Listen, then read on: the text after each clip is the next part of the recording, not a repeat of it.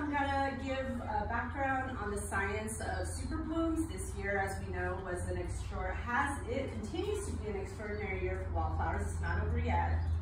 Um, so I'm gonna talk a little bit about what creates uh, quote unquote super blooms. Um, we'll talk a little bit about their ecology and their conservation and, and why they are fragile habitats that are important to protect. And then we'll look at um, wildflower tourism and culture and how people um, over time have interacted with these botanical displays. Um, offer, offer some opportunities for discussion there. And, and then we'll look at um, past threats and emerging threats to these very fragile ecosystems and what we can do to conserve them. And then kind of take a look to the future and the future of um, these wildflower ecosystems. So let's just first define wildflower. so when we talk about wildflowers, generally we're thinking about herbaceous plants that are non-woody, so we're not thinking about trees. Um, and oftentimes they're annual or they can even be perennial plants. So off over here we have some penstemons in bloom, the purple, and we also have um, the columbine, Aquilegia formosa.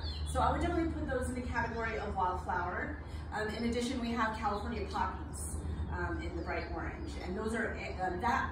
The, this California poppy is an annual, and um, so it completes its life cycle in one year um, even less than a year. They usually, these winter annuals, they germinate in the wintertime, usually around December, January, or February.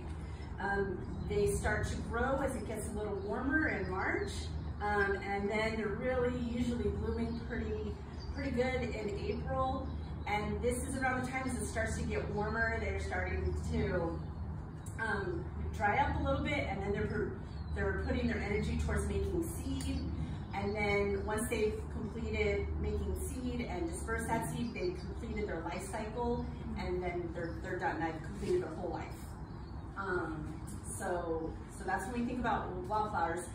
In terms of the term super bloom, that's really more, I think, of a cultural term. It's not really a scientific term in terms of like, when have we reached super bloom status? Um, I recently spoke to uh, the San Francisco Chronicle and they asked me what defines a super bloom. And I said, well, if you can see the flowers from space, I think that might be qualification for a super bloom. Uh, so that's my current working definition, the years in which we can see flowers from space. Uh, California has more kinds of plants than any other state in the United States. So being residents of California, we have access to just really extraordinary plant diversity, um, so I feel very fortunate to have been born here, grew up in Los Angeles County, and then became a botanist where I get to study, you know, a place that's incredibly rich for plants. Um, so we have over 6,600 kinds of plants native to um, California. When we consider the non-natives, we're talking, we're like reaching 8,000 plants. So it's a lot of plant diversity here. Um, about a third of them only occur in California and nowhere else in the world. So we have, that's called endemism, when you're restricted to a particular geographic location. So we have a high degree of endemism in the state of California with having over a third. Um, and about 2,400 of our native plants are considered rare. So they've been evaluated by botanists and primarily based on their distribution. They are um, given some sort of category of rarity and they may have a conservation status. That means land managers may pay extra attention to them to promote their conservation so we don't cause extinction. Uh, so that makes wildflowers in California really extraordinary because we have so many kinds of plants. And a high proportion of those plants are these herbaceous wildflower kinds of plants. So this is based off of data in the database CalFlora. Um, and what it finds is that, so the annuals are that blue piece of the square and the herbaceous plants, the perennials, are this purple piece of the, square, of the, the pie. And so we have about 80% of the diversity are these, you know, herbaceous type plants. That doesn't mean necessarily that they're all wildflowers, because we actually have a lot of herbaceous plants that aren't very showy and generally aren't considered wildflowers. So for instance, grasses and other grass-like plants generally aren't considered wildflowers because they don't have those showy flowers and they're wind pollinated. So we have a lot of wind pollinated plants. Um, but you can see that that general life form of that kind of uh, not woody herbaceous habit is the predominating life form in terms of overall plant diversity in California. So I think that is pretty interesting. Um, I have lots of pictures of wildflowers throughout this. I just wanted to call attention to the very amazing microbloom of the pygmy poppy uh, because this is a dime scale up there. So some of our blooms are, we call them micro blooms, or uh, belly plants uh, where you have to like lay down on your belly to actually like see them up close. And so it turns out that our climate plays a very big role in um, creating this phenomenon of the super bloom or having extraordinary wildflower displays. So in California, we experience a Mediterranean climate. So that means the, wind, the rain comes in the cold winter months, and right now we're heading into the drought season, right? We're unlikely to get any uh, rainstorms of any significance for the remainder, uh, you know, until like fall or winter comes again. So we have this prolonged drought summer season. And so a lot of plants have adaptations to deal with that prolonged drought. And one adaptation is to be an annual plant. It's to ride out the long dry summer months as a seed in the soil and be dormant. And that means you don't have to deal with the heat, you don't have to deal with the dryness, because you lived your whole life in that cool, wet season. And uh, because we have that Mediterranean climate, that means we have this high proportion of annuals. And a lot of the perennials um, that form wildflowers are what we call geophytes. Geo meaning earth or ground, and phyte meaning plant. So these are plants that um, they um, live a portion of their life underground as a bulb or a form or some underground storage structure, and they only have their um, sort of vegetative material come up when it's sort of cooler and wet. And so the genus Calochortus, which is called the Mariposa lily, is a good example of a geophyte, um, as well as lilies themselves. We have a lot of lilies here in California as well, and those are definitely wildflowers. Um, so um, having an herbaceous habitat in, in California, being an annual or a geophyte, is really a, a drought evasion strategy to deal with that long-term summer drought. Um, and um, yeah, so we are one of five Mediterranean climate regions in the world. And it turns out when you go to these other Mediterranean climate regions, so that would be the Mediterranean Basin, South Africa, Western Australia, and Chile, um, those areas also experience the phenomenon of a super bloom. So I don't know if you've all ever seen pictures of the Atacama Desert when they get rain, but it's just covered in blankets of flowers and they also have super blooms. Uh, South Africa and Western Australia have a lively super bloom tourism sort of phenomenon, just like we do here in California. In fact, in doing research for this talk, I just Googled uh, wildflower tourism because I was curious and it was a bunch of pictures from Western Australia came up because um, they have magnificent wildflower displays as well. So this isn't something specifically unique to California. Um, it is a phenomenon of the Mediterranean climate regions, um, but in the United States, it's certainly a unique phenomenon that California has these magnificent blooms. So, um, what exactly is a super bloom? I said if you could see it from space, right? but it is uh, basically abundant and diverse displays of wildflowers.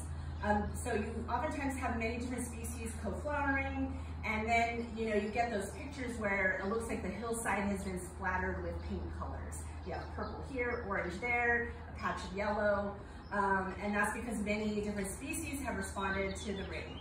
And this occurs because usually um, we have above annual, um, well above the long-term average rainfall occurring in that winter, those winter months when the super bloom, you know, is getting started.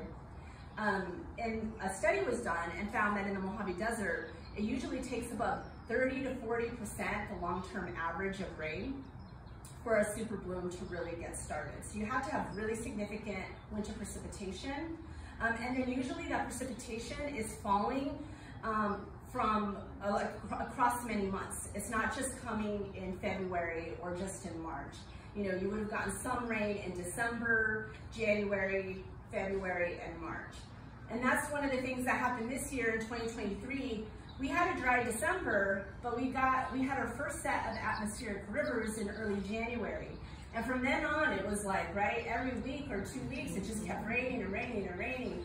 And we had storms up until March. Um, so it was really a prolonged rainy season. And um, although the first atmospheric river was actually quite warm, it wasn't a very cold storm, subsequent storms were cold. You know, we had a lot of snowpack as well, a lot of snowfall. And so it's that range of temperatures, experiencing rain across a gradient of temperatures across uh, a, a, time span that would assist the plants in not only germination, but growth and then, you know, carry them out until they're flowering. That's what created the the magnificent bloom we have experienced this year, especially in the Carrizo Plain and out in Lancaster where all the poppies are blooming. And we also had a lot in Riverside County as well.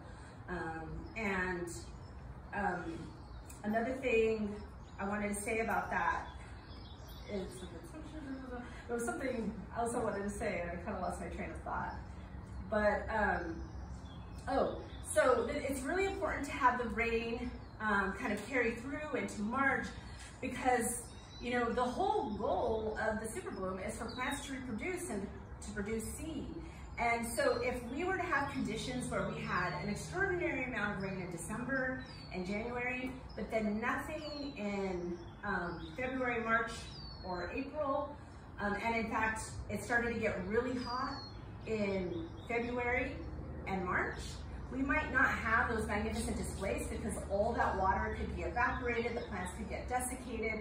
So it really requires having also cool temperatures and you know that prolonged season. Uh, so that's a very important aspect of it.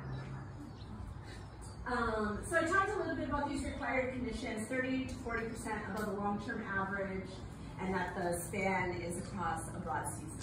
Uh, this is one of those Mariposa lilies I was talking about. These are some wildflower plants in California. Uh, so here's a graph that shows, um, this is, I just took one location of a place where I study plants just east of Death Valley. It's a village called Shoshone. Um, it's right at the border of California and Nevada, and it's known for having magnificent wildflower displays just like Death Valley. And so I looked at um, historical climate data using a database called PRISM, which is uh, publicly available climate data. Um, and um, I this this dashed line here is the long-term average. And then the orange dash up here is um, the 30 to 40% threshold. So we need to get this much rain for a super bloom to happen. Mm -hmm. So you see those peaks with the stars, those are years of super bloom events that are known to have happened in this region. So, um, um, so I had to ask, you know, people who have lived there a while, because some of this goes beyond my time as botanist.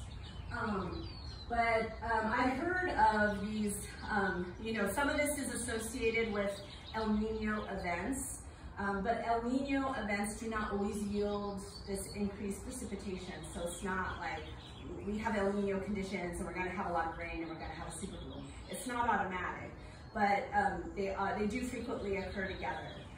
Um, so the first super bloom I ever experienced was in 2005, which is on the map. That would be this star here. Um, and then another super bloom I experienced was in 2016, which interestingly is here and below the threshold. Um, that was like, it was only like one storm that came in October that just like, and then the bloom was really early. The bloom happened like in February and then it was done by March. So that was a very unusual year. But it was, and it was very specific to Death Valley region. And then we had a pretty, pretty good year in 2019 as well, as you can remember. Um, and I'll talk a little bit more about 2019, what happened there with some wildflower tourism. Um, and so this is this year. And this is a, a map made by a, a, climatologist I follow on Twitter. He makes really excellent maps. His name is Brian uh, Brettschneider, and he lives in Alaska, but he, he does all these cool visuals and you know weather visuals and maps.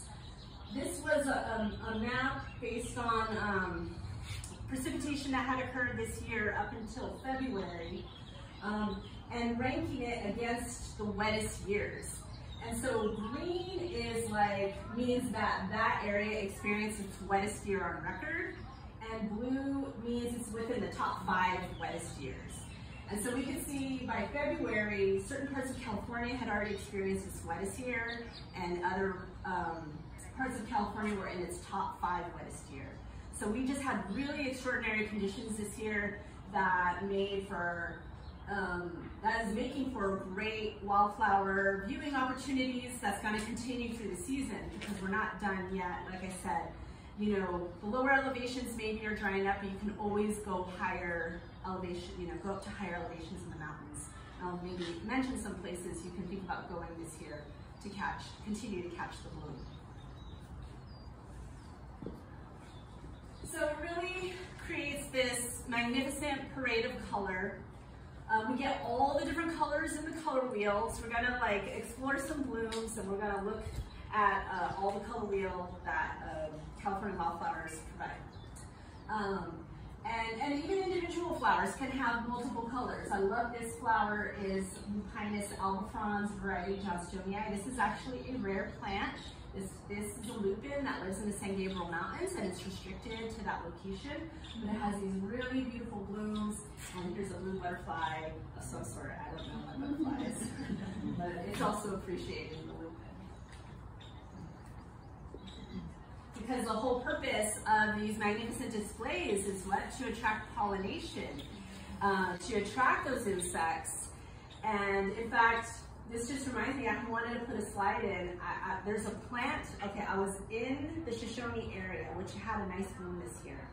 And there are some plants in, in the phlox family, the genus Linanthus, that only bloom, they only open their flowers at night.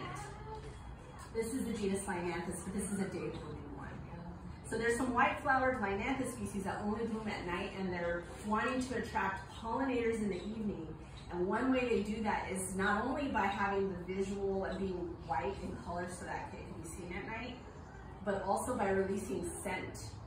And so you could be amongst these, when you're in a super bloom, sometimes the smell is overwhelming and sometimes it smells interesting and good, but sometimes it can be sickeningly sweet, like almost nauseating because it's like really intense.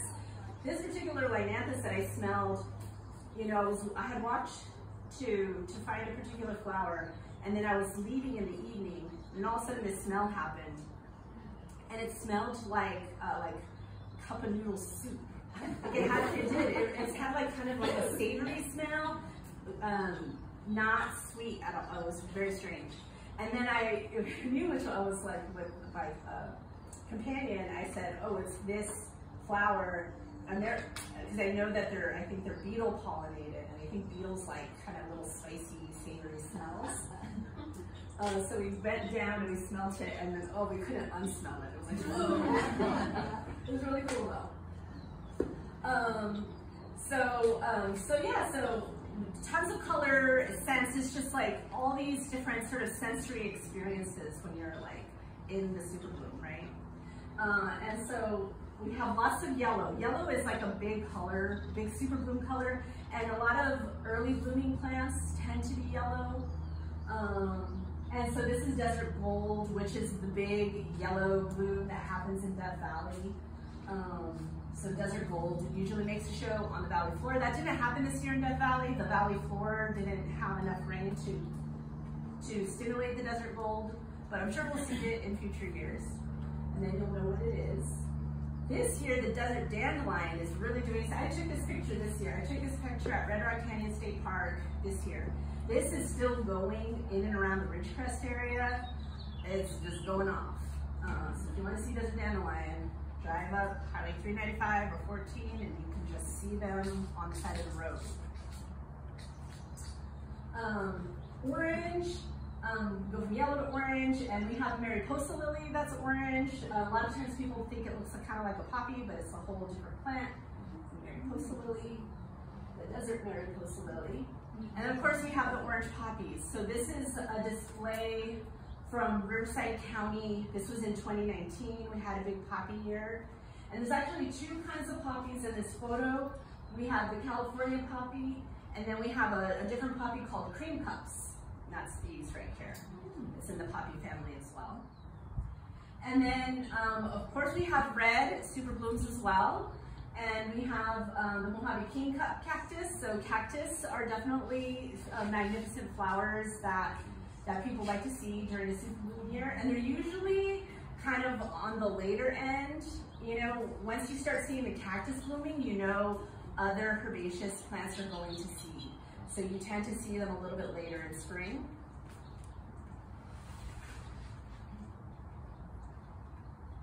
And then of course we have the paintbrushes. And the paintbrushes are really interesting because it's not actually the flower that's showy, but it's um, some bracts that enclose the flower that are the red showy parts. And then the flowers sometimes are really small and green, um, but they're oftentimes hummingbird pollinated, and so red flowers usually attract hummingbirds. Um, they're very attracted to that. Then I to put another monkey flower because I study monkey flowers. And I think this is kind of red. I don't know if it's red or purple or what. Um, but this is the Mojave monkey flower, uh, Diplacus mojavensis. I believe I took this photo in like 2016, maybe. I did not find it. It did come up this year in very small numbers, but I didn't try to find it. Um, we actually have this, we're doing uh, propagation trials on this species because it's rare and we want to like help conserve it and one of the ways we can work on plant conservation is by learning how to grow them uh, so that we can make more seed and store their seed. Um, and this particular species, I have um, speculations about what pollinates it, and I think flies might pollinate it, because if you look at the flower, and it has these like kind of maroon veins, and then it has this like black hole, who knows what's going on in there. But it kind of looks like maybe it might be mimicking meat, Mm-hmm. And when flowers mimic meat, usually they're pollinated by flies. Oftentimes, like, you know, there's a corpse flower that's really stinky, right, is mimicking meat. Uh, this I've not smelled anything, you know, putrid coming from the flower, but it doesn't mean that there's not some kind of scent. Maybe we just can't detect it. I don't know. But when you further study, you can actually grab floral scents by like putting a bag over it, and then there's like a machine that hooks up. I've never done this research. I've seen it done, and then they like they suck out the chemicals and then they can analyze it. They can actually capture the scent. Mm. So it's, it's really interesting research that happens on floral scent. And then we have purple mat. Um, a lot of super blooms, you know, are big and showy, but some of them, like I mentioned, are these belly flowers. So this is, you know, my key, and just it's like very low to the ground, um, but very common, uh, bright pink. Although it's called purple mat, I think it's pink. There's always debate among uh, flower colors too. Some people say that's purple, and some people are like that's blue. Maybe we get our color charts so that you better uh, determine. Uh, sand verbena, this is a plant that occurs in sand dunes. So this is one you would see out like in the Coachella Valley Preserve, which in good rain years, the Coachella Valley Preserve is a wonderful place to go to see wildflowers. Um, I don't. I didn't go there this year. Some areas are blooming nice around there, although I don't think it got a huge amount of precipitation this year. And it tends to bloom earlier. A lot of sand plants tend to bloom like in February, March. And then when we get into purples, we see a lot of the genus Phacelia, which is um, in this family called the Hydrophyllaceae. And that's its common name too, is Phacelia. Um, and um, these are yellow throats, Phacelia fremontii, so named because their throat right here is yellow. And um, I saw a magnificent of these. This is a photo from this year. They're very abundant in certain locations. And then the Lacy Phacelia is a very um, charismatic flower that is good for gardens, really good bee flower. Um, and so you can find these in seed mixes, and think wildflower seed mixes, and things like this. And then of course, the, the more lupins, the bush lupins are spectacular. And I think these are gonna have an extraordinary year this year. And you can find bush lupins in our local mountains. So you can see these blooming well into you know the summer season. You just have to go up in elevation. But if you're driving along, you know, the San Gabriel, like um, the, uh, Glendora Mountain Road or Glendora Ridge Road, there's bush lupins there, and you can see those there, and you can see them up you know, on your drive up towards Big Bear and things like that. And then the desert bluebells, this is more, this is my blue flower, it's not blue flower. it's of purple blue. Um, but there are some flowers like larkspur and certain phacelias that have like a really striking blue color, um, which is more uncommon um, amongst wildflowers. And then just to complete the color wheel, I had to add green this isn't a flower. This is a plant and fruit. Uh, this is the desert holly, Atriplex hymenelytra. Um, it's one of my favorite plants, and it's not considered a wildflower technically, but it is a very showy, beautiful desert plant that is wind pollinated. Um, and a lot of times those plants don't get as much love, you know, as wildflowers. So I had put one in as a wind pollen appreciation. Wait, wind pollination. Um, and so the, this, the thing that makes a wildflower season so special is that it, it, it lacks permanence, right? It's not like a tree that could be there for 500 years. It's, it's here today, gone tomorrow, and we don't know when we'll see the next one. So it may, you know, you kind of feel this sense of urgency to get out there and see it and kind of uh, see that beauty and, and soak it in, and you don't know when it will happen again. So it's very fleeting. Um, and so right now we're in this season um, where the temperatures are turning, right? It's getting a little warmer. And you know, maybe it feels a little sad, like, oh, the flowers are gonna start to dry up soon. But you know, it, they're, they're going to seed, so that's like a really good thing. That means they have successfully reproduced and they're putting seed down in the soil seed bank um, for future super bloom years. So so that's the, that's the end goal. The culmination of this event is seed. And so this is a plant, a monkey flower and fruit. Um, I went to see that Red Rock Canyon monkey flower this weekend. They've almost lost all their flowers, but they're headed into fruit. So even though, you know, it's like, okay, you know, the bloom is over, I was still happy to see the emerging fruit. And so temperature plays this really important role. And so um, this is looking at long-term climate data, again from that PRISM data set, looking at uh, maximum temperatures, the average maximum temperature for a 30-year time span. And you can see that really, so the average maximum temperature in April is about 77 degrees Fahrenheit, but by the time we get to May, so it's gotta be May next week, we're getting to 86 degrees, and that's when it's we're getting pretty warm, pretty hot and that's usually when the low elevation blooms really go to seed, um, and then, you know, if you want to see flowers, you've got to start to move up in elevation, like above probably three, 4,000 feet um, to start to see flowers again. How we get to 5,000 feet. Actually, 5,000 feet is a good zone in May. Um, and what's happening is, you know, like I mentioned, seed production. And so that's the other component of the super bloom. That's like, you know, I said, what's required for the super bloom? You need cool temperatures, you need um, above long-term average in precipitation, but what do you really need, you need a really large soil seed bank. So that's what's germinating, is there's billions and billions of seeds that are alive. These are living organisms. They're in their dormant phase and they're living in the soil. And so their seeds are spend a lot of time being asleep, right? And then they're very long lived, so they can live many, many decades being asleep in the soil until just the right conditions come and then they're ready to do their thing and complete their life cycle. So one of the things that makes um, super blooms sort of sustain or the seed bank sustain is that even if you have the perfect set of conditions, like you've gotten tons of rain at all the right temperatures, you've you know, had sufficient rain to stimulate germination, um, there's some fraction of the soil seed bank that will not germinate. They'll stay dormant.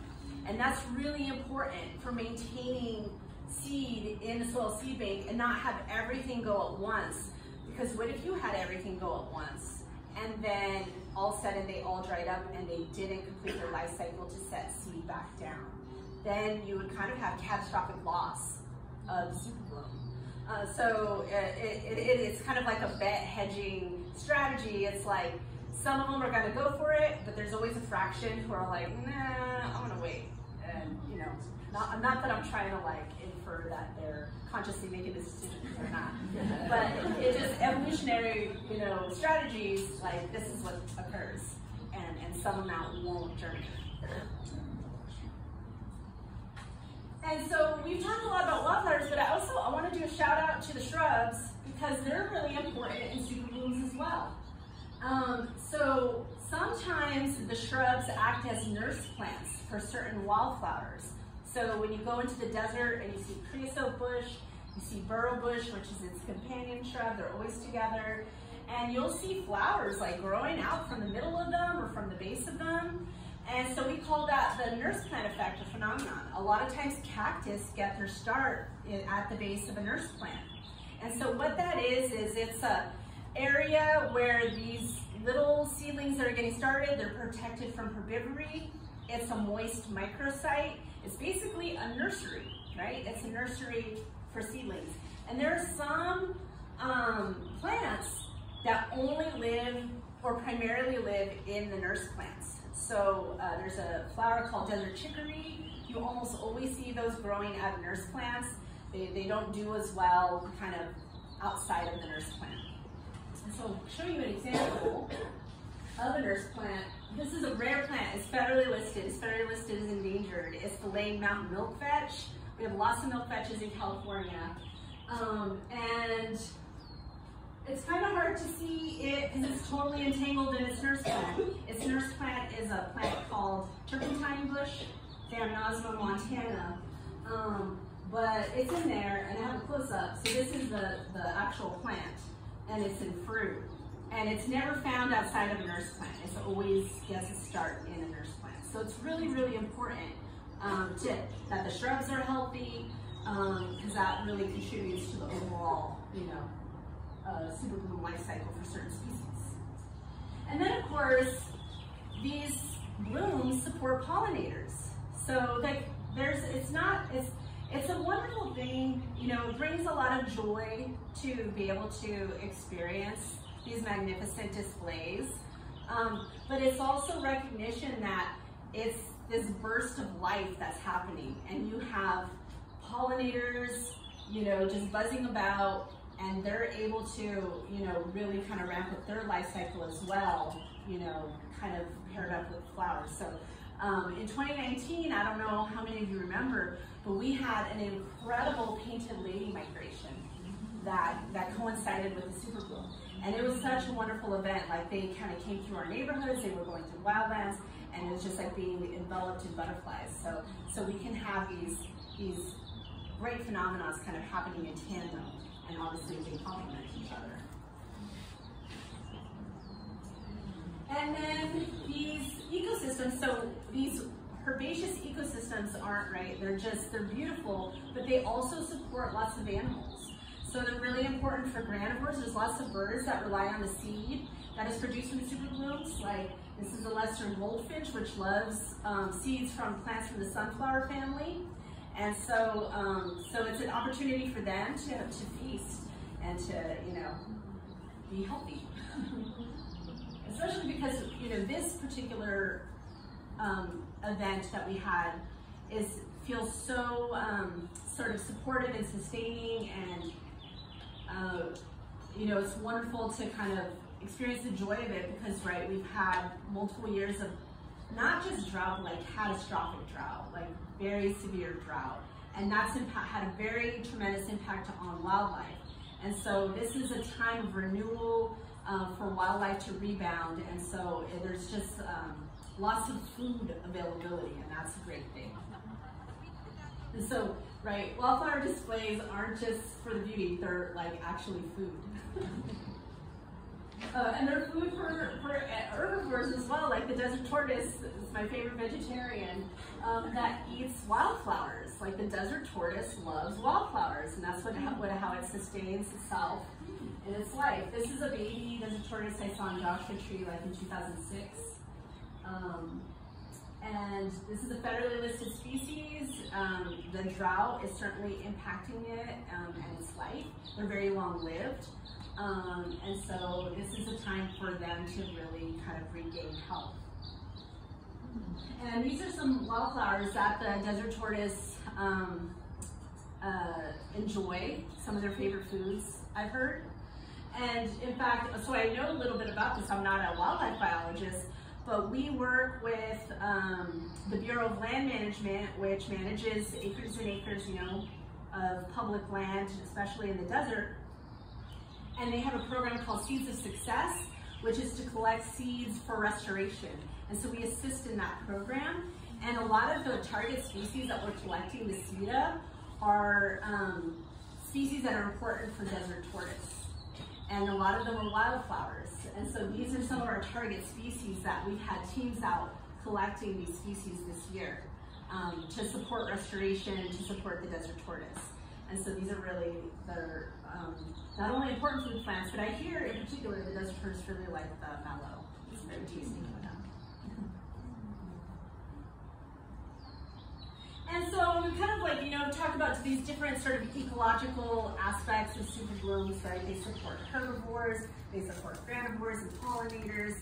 Um, but people, we're part of the ecology as well. And super blooms have sustained people uh, for you know tens of thousands of years. So we have the, the people who are indigenous to California, many, many tribes, many, many cultures who tended super blooms, who, um, you know, had, um, it was a primary food source, you know, like the, the chia, the sage, you know, you can buy uh, Salvia hispanica, which is the commercially available chia, but our local species, uh, Salvia columbariae, was um, used for food. And so we have some information or records of this. Uh, this is a quote from Father Juan Crespi. He was a Franciscan missionary. I um, redacted some of his language because he uh, referred to indigenous people in a very derogatory way. So I'm going to use an alternate word. But I'm just going to read from his quote where he says, um, he's describing a super bloom of chia. And he says, the entire countryside all over this great plain is full of chia that is very good for refreshment. So much of it that I thought it impossible for the indigenous folk, a great many of them though there are, to gather even half of it. It was in bloom at present, purple colored bloom. So he's saying there's so much of it, there was no way they could have gathered all, even half of it because it was so much. And we know that the indigenous, the people indigenous to this land did gather the chia and they offered it to you know, the people who then came and settled and colonized uh, here, and, and it was an important food source, a very, very important food source. And so there were other wildflowers as well that would have provided important seed sources. And I just think it's very important to recognize, you know, in our modern day society, we live in a very built environment. But people have always been a part of nature. And even in modern day society, we're still a part of nature. Um, even though we might have sort of more control or we might try to have more control over nature, we've heard about maybe Tulare Lake, maybe we don't have so much control over nature. Um, but um, we have influence, we interact with nature, and so we're very much a part of the ecology of Super Bloom. I think especially when we think about how we interact with wildflowers. We're going to get into the horticulture part later and think about um, sort of responsible wildflower viewing. Um, that's definitely like interactions with nature that shows that we're a part of it and that we can have an impact on it, whether it be positive or negative. Um, and so I think we can all find ways to have really positive interactions with nature um, and by recognizing how we're a part of it and we have influence on it. And so one of the early influences of the uh, Spanish colonizers was the introduction of invasive species. Um, so people from, you know, who came from Spain, they brought with them cattle and they brought with them invasive species. And they started to fundamentally change the landscape of California in a very significant way. And so that's one of the things that super blooms have to contend with is invasive species. And um, in fact, so there's this really great book called California's Fading Wildflowers that examines sort of the transformation of wildflower prairies to um, many areas now are dominated by these invasive um, grasses and or mustards and no longer support the wildflower fields that they had. Um, so he kind of examines the cause of that or different makes different interpretations of what it would have looked like prior to major development. Um, but some of these weeds are documented fairly early on um, in um, mission bricks. Um, they, you can find these invasive, the seeds of the invasive species in mission bricks, adobe bricks. Um, and so these are just, um, Erodium is the red stem filaree, uh, black mustard, uh, cheeseweed, um, Poa annua is a common grass, invasive grass, Hordeum murinum is barley, uh, Medicago hispida and Medicago indica are types of like clover, um, bird clover. And um, so in, in, this picture I have um, owl's clover, which is native, but then I have these, this is the red stem filaree fruits. And so they're ubiquitous, they're everywhere, and they came fairly early on. And so, but we know we had super bloom still in the Los Angeles area in the 1800s. This is a uh, this is from 1847. This is Pasadena area, and it's just covered in wildflowers. And so th this quote um, says there was a sailor who uh, was coming to Los Angeles in 1847, and he said that he saw all colors, all shades of colors, all hues, all tints, all combinations are there to be seen, and the endless variety bewildered the senses. Perennial incense, incense ascends to heaven from these fragrant plains. You can only imagine what that was like. It, was, it must have been so magnificent. And so it turns out wildflower tourism became very popular in Southern California around the turn of the century. Um, and so there were actually um, organizations and like boosters, people trying to promote tourism in Southern California. And one of the ways they did that was by showcasing the beauty and poppies and sort of like tourism and poppy fields. And so here we have people gathered and they picked all these poppies. And you can imagine the feeling perhaps then of abundance and permanence that this would always be here and this is this is just how it is, you know? And that you could take and it wouldn't necessarily have that impact. But I think now today we know different because this wildflower field in fact now is urbanized. It doesn't exist anymore in this fashion.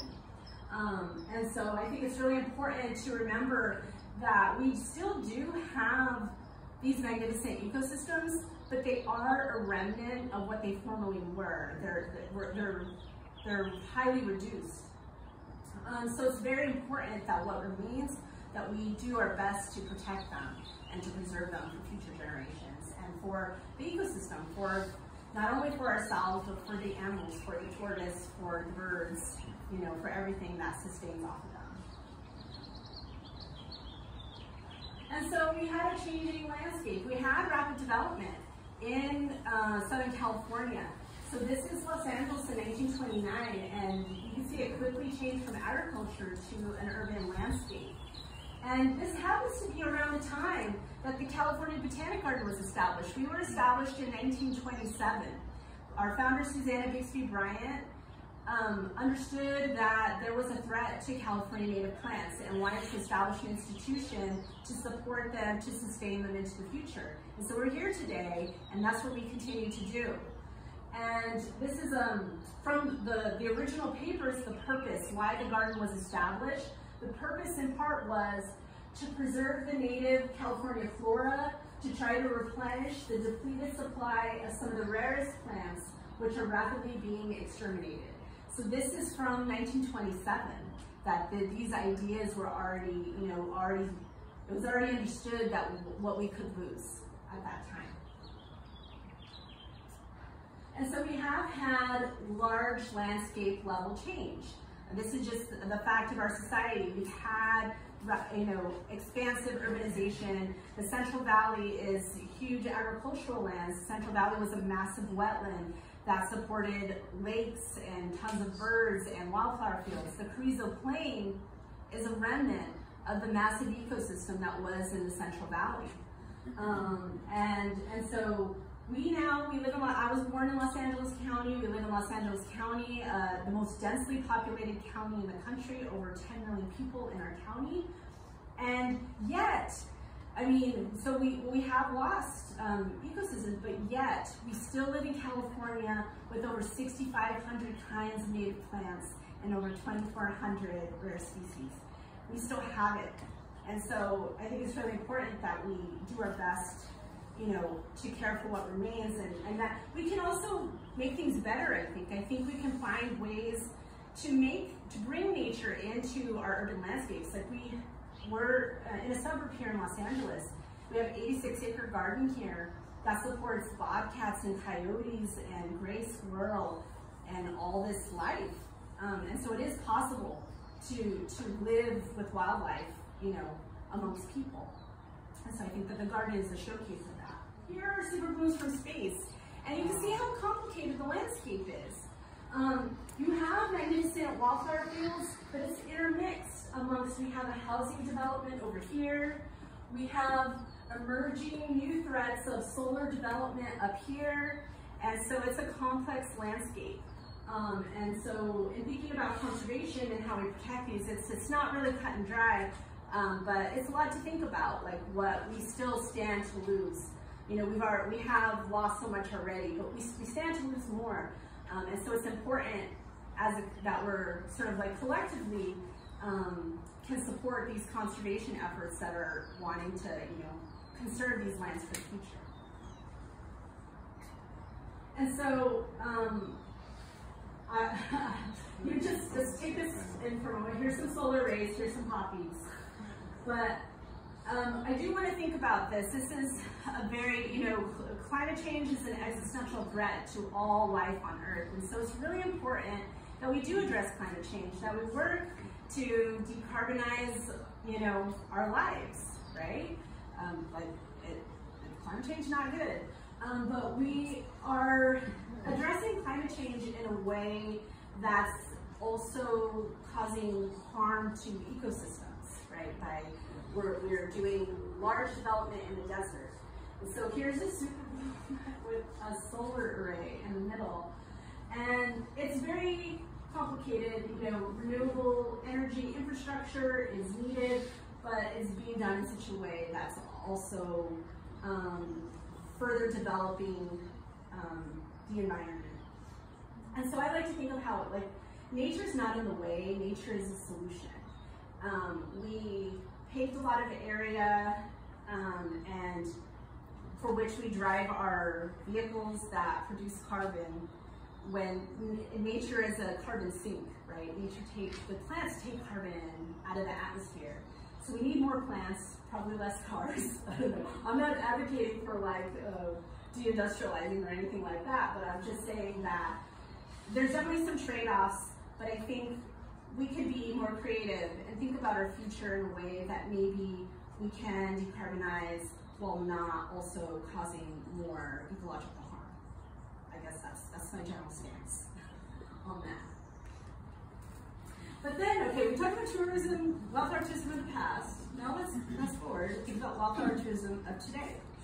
So many of you may remember in 2019 we had the quote unquote poppy apocalypse where uh, in Lake Elsinore um, it was kind of mayhem. I actually didn't go there to Walker Canyon, but I saw the photographs and people were trampling wildflowers. There were lots of social trails created.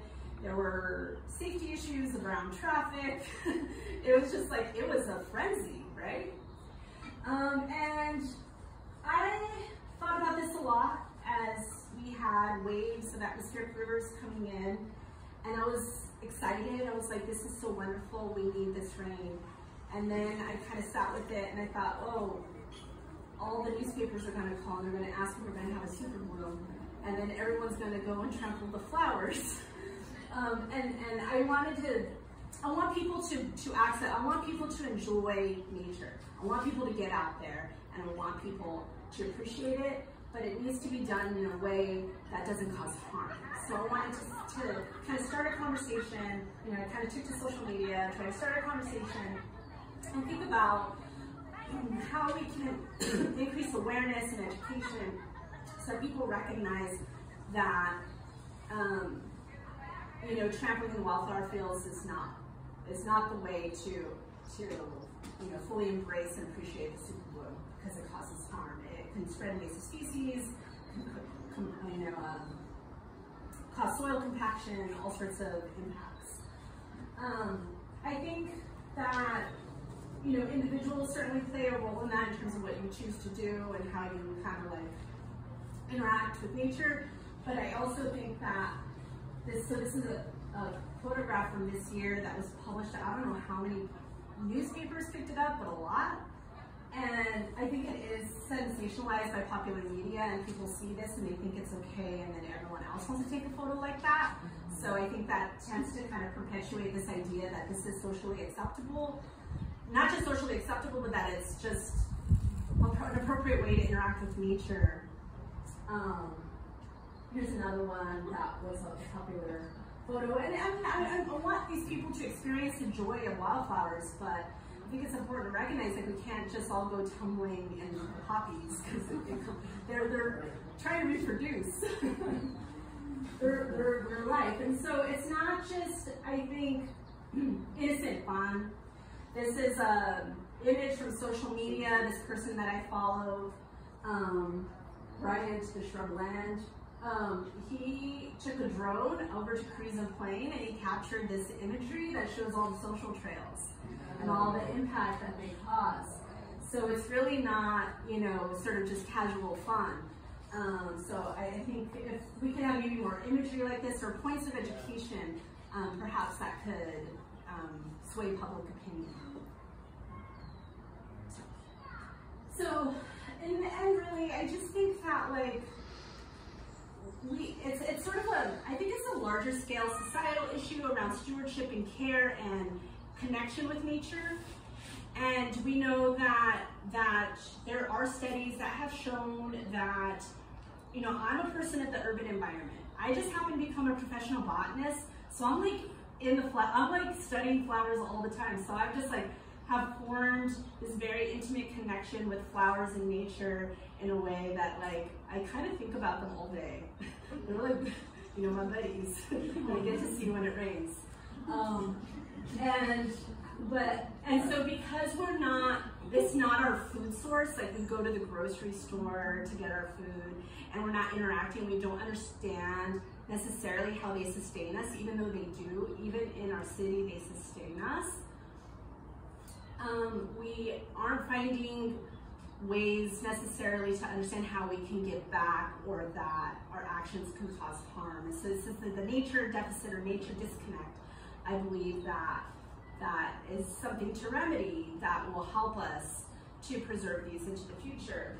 And so creating um, an ethic of care and having that, you know, you know, we here at the garden we have school tours, like all these things are important um, to um, fostering na nature connectivity for the next generation. Um, so my, this is my quote from a, I got interviewed by The Guardian, where I said, like, I don't think, like, the solution is not to cordon off nature from people. That's the opposite of what we need to do. We need people in nature. We don't need to close off access from nature. We need people engaging, interacting with nature, but beyond seeing plants as a beautiful backdrop and understanding the greater significance of what it represents um, and our role and how we interact with it.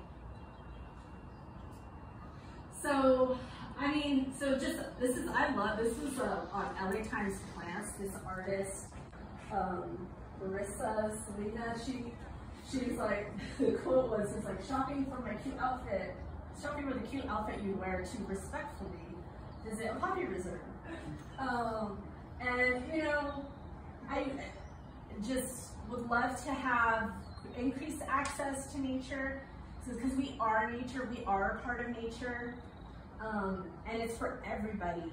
Um, I grew up in the urban environment. I never really interacted, I didn't even know about native plants growing up, but now here I am a botanist, I know a lot about native plants, and I get to share that with people.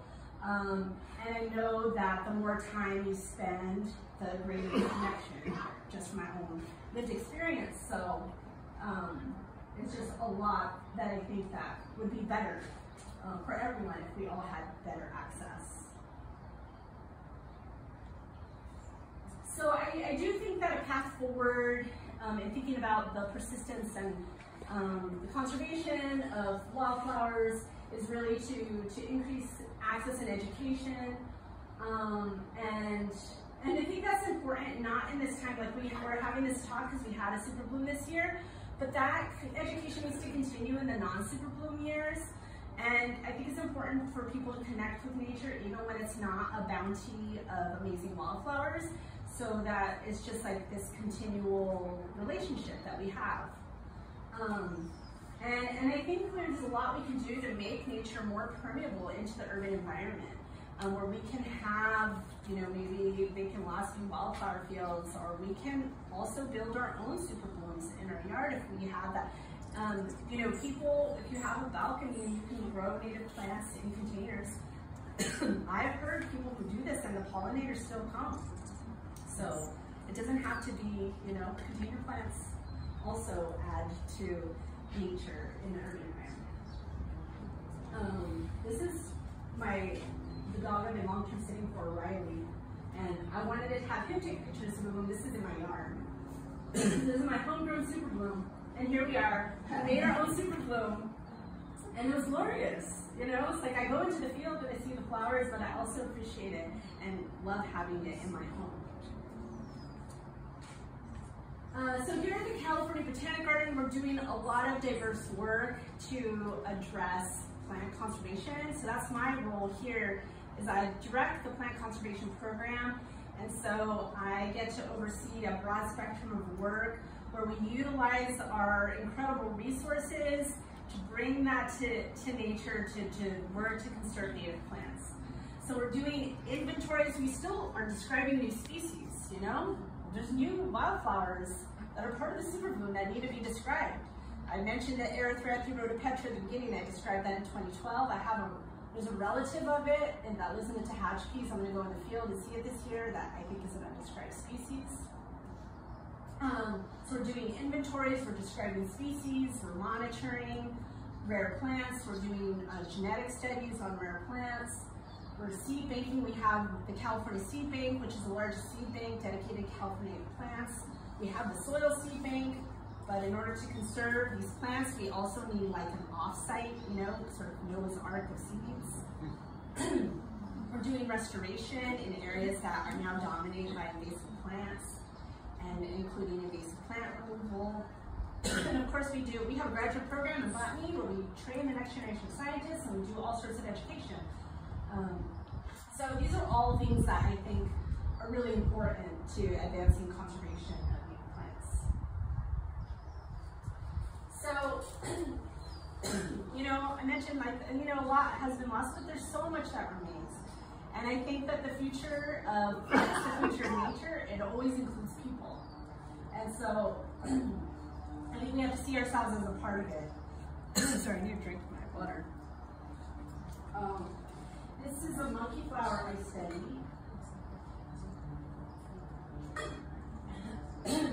and some of its habitat has been burned and is now being invaded by um, grasses. And so this is an invasive grass, but you know, I have a lot of hope for this monkey flower. And it's through the work of people that it's got to ensure that these, these species can persist in the future. And so that's what I have. So the desert candle is a cool plant. It came up in droves this. I think you can still find some around. But that's how the ways to contact me if you have questions. And I'm happy to answer questions.